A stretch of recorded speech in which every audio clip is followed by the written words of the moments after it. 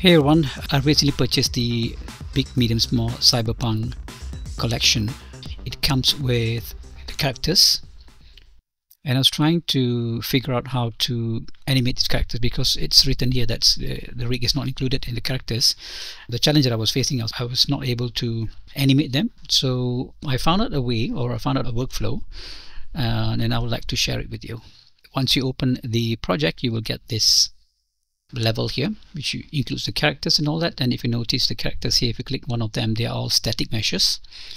And uh, fortunately enough big medium small provided some APOS characters without the rig. So I was trying my best to get it to upload it to something like Mixamo to get the rig installed automatically. Unfortunately it did not work gives me some errors and it's not recognizing. I tried using Blender to remove certain things and maybe combine the meshes up to make into one mesh. Didn't work either. But uh, I try the OBJ files that was given by Big Medium Small. That worked. Unfortunately, when you use the OBJ files, this is what you get. The characters are without the textures and you will have to go through a lot of trouble and bringing the textures back and all that kind of stuff right? So the solution that I found was using something called the ActorCore AccuRig right? This is a free application that you can download from ActorCore's website which allows you to actually rig characters for free. So what I need to do now is if I just drag and drop I'll just show you how it's done. So you can go ahead and download the APOS characters so I have the FBX here, right? So I've downloaded it and then I've got the APOS FBX. There, there's several that they give to you. We can try one first. So I'm going to just drag and drop this into uh, this slot over here. So I'm going to pick up the first one here, just drag and drop into here. And the, the AccuRig will start doing its stuff okay so it recognizes the character. So I couldn't get even to this um, level in um, Mixamo. Mixamo just do not want to accept the character at all. So now I've got the body. Uh, it's actually very straightforward. All you do is just on the bottom right of the of the app you just click on rig body. It start rigging. It might take a minute or two depending on your system. Okay it's got the rigs all the right places. And then I'm going to click on the right hand rig or the rig right hand at the bottom and then I'm going to say he has five fingers. Click on next. Alright so this is the right hand. And then we're going to rig the left hand click again on the button and finalize the character. So it's now it will it is now creating uh, the bone structure of the character.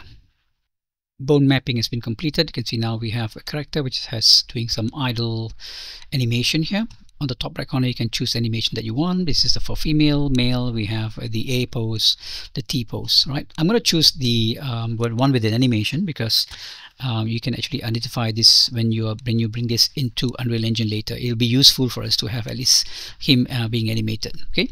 So the next step is actually on the right hand side bottom again uh, you can either upload to the actor core for you to keep it uh, in their service as a, as a backup or you can click on export the bottom right corner and I'm going to click to FBX and in, in the drop down here I'm going to choose Unreal. And then for max textures I'm just keep it to original. We don't need to have it to go to high, res high resolution. And I'm going to click on embed textures because I want the textures to be embedded onto the character here. Alright so click on export and find a place on your perhaps on your desktop. In my case I'm going to put it on my desktop. Cyberpunk Crowds APOS 1 FBX click on save and what you will get in the download files you get the APOS FBX files and then you get a textures with it right? This is a texture that comes with the character. Right so let's jump into Unreal now because this is a, this process is completed. To jump into Unreal. All right so I've done two here earlier while I was playing with it. So I have a sequence here which I used to animate these guys. You can see they're animated, right? So how did I achieve this? All right, of course we will have to go into the content browser. We'll have to make a little folder. So under characters, I'll make another folder here. Right click, new folder. I'm going to call this new underscore apos apos. Okay, and just for clarity's sake, I'm just going to give it a color. Uh, let's keep it a nice bright green. So this is the file that we downloaded earlier. And I'm going to go and grab the FBX here just click drag and drop so with the new uh, version of Unreal Engine which is 5.5 you will get this huge import dialog box here. so something that to watch out for here is a couple of things that you need to make sure that you uh, adhere to of course, you go to skeletal meshes. Do not select any skeletal meshes because it comes with its own skeletal mesh. And the other thing that you should watch out for is actually materials. Animations we want because it comes with an animation. So I have enabled use T0A uh, reference pose. It's enabled. Uh, please do not create materials. If yours is enabled, please disable that because I'm going to show you how to create the materials in a simple uh, or easier way of doing materials yeah? Because the materials that comes with AccuRig ones are too complicated and it's very hard for you to edit them. So I'll just leave that disabled and I'm going to click on import. All right so you've got your cyberpunk character here skeletal mesh. This is the most important one. So I'm going to click on save all quickly. Right so we've got the skeletal mesh uh, this animation we have a skeleton then we have textures but there's no material. It's fine. I'm just gonna make a new folder first. So I'm just calling it text. And now filter for textures, select all the textures, undo the filter, drag and drop into texture, move here. So you will see less item to, to, to figure out, yeah? So I've got my cyberpunk skeletal mesh. I'm going to drag and drop into the scene here. Okay. So this guy is a skeletal mesh. If I double click and open up, you can see is a skeletal mesh right? It comes with all the skeleton. This is exactly what we need. But the textures are all um, not working well. It's fine. So let's do the animation first. It comes with its own skeleton so we need to do some retargeting. So if you have animations from anywhere else that probably from Mixamo or even uh, from Unreal Engine's Fab you can download some of the uh, animation. You can actually use that. But you need to retarget yeah?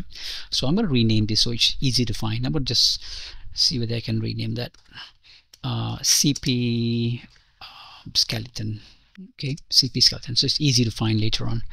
And this guy as well we can just rename him cp skm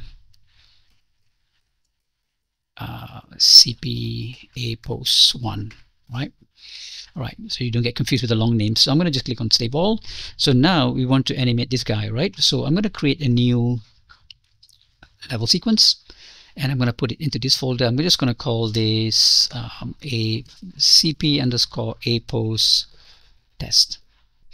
Right, so I'm going to select the character that we have brought into uh, Unreal earlier. Press Control A to bring it into a sequencer and animate. There's no animation here, so we're going to do some retargeting. All right. So in my uh, project here, I have downloaded a um, Mixamo character and I have the Mixamo animation here. So, so if I go to Cyberpunk and I've got down to characters and I should have a Mixamo animation here, right? So I'm going to retarget this one here. It's just a guy walking and that's it, right? And I'm going to right click. I'm going to say retarget animations and here's where you choose which skeleton you're trying to retarget to. So our source is going to be the Mixamo source, which is going to be walking skin right? This is the one that I download from Mixamo. And the target is going to be our CP APOS one right? So this is the source which I download from Mixamo because it has animation which I liked. And then this is the uh, guy that we want to send it to. So we can actually double click here to check whether it's working. It's working fine. Okay I'm going to click on export animation. I'm going to put it into the again the same folder here and we're just going to call this CP and then uh, walk. Click on export and export and then we have got that animation here. So I'm going to go back to sequencer and now under animation you will see that we have this uh, walk sequence, right? Here we go, right now it's walking. The second challenge is how do we put a texture on this guy? So it's actually quite easy. So I'm going to go back to my content browser, textures here. So you will find a bunch of textures that comes with this package. So what we do now is just drag and drop, right? So I'm going to come close to this character over here. So I know for sure that this is this um, the visor, right? So I'm going to look for visor. Oh, there you go, Falcon visor, right? Diffuse. Take the diffuse and then dump it onto the visor here. And Unreal Engine will automatically create a material for you, right? This is how what it's done. Okay. Not only that, it also creates a material with the corresponding uh, normal map it detects that it has a normal map and it actually puts in uh, automatically for you. And then if you want to change something you can just maybe you want to change the metallic or specularity roughness you can just put some values over here okay? That's how easy it is. It's amazing. So I'm going to now proceed. I'm going to look for his height. I'm going to just drag and drop. That's height. And then I'm going to go to his jacket. There's a bomber jacket which is this guy over here.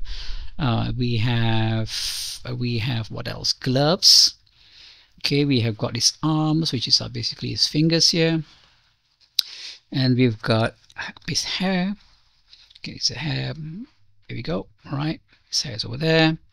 And then we've got pants. So I'm just dragging dro and dropping the uh, the color map here or the albedo map. And then we've got his shirt. The shirt is right inside here. So drag and drop there. And what else do we I was missing. Uh, I think we got everything so far yep except for the boots of course. So let's bring in the boots. Diffuse.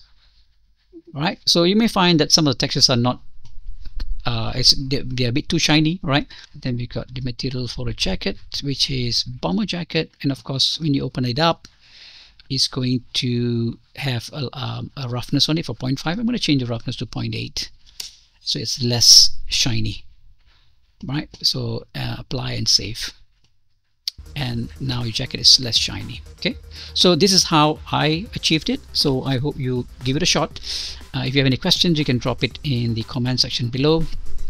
And if you found this useful of course do let me know and then um, like and subscribe. Right? So I'll see you in the next one. Take care. Bye for now